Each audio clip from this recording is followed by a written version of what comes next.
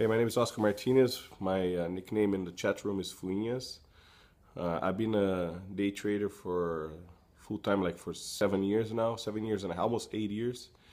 And uh, I decided to take the boot camp just because I wanted to understand uh, how Kunal was uh, was doing the the things that he was. You know, like the, those explosive setups. I, I could never really understand them.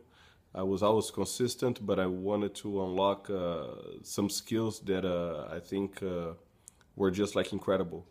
And I took it and uh, and it did. And just to give you guys an idea, on my first month, I went up uh, almost like 20% over my previous month.